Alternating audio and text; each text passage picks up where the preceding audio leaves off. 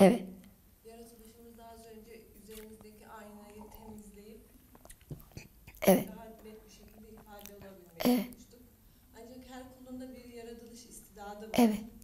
Ve iradesi var. Çok güzel. Burada irade ve istidattaki ilişki nedir? Çok güzel bir soru. Harikulade.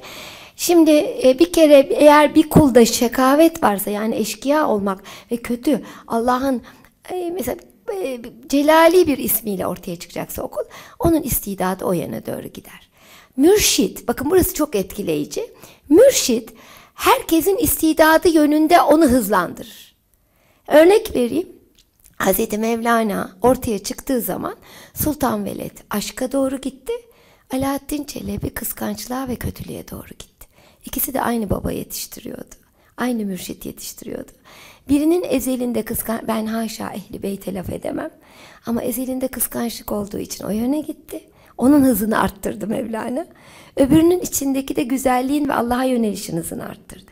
Mürşit böyledir. Şimdi burada kendi gayretinin rolüne.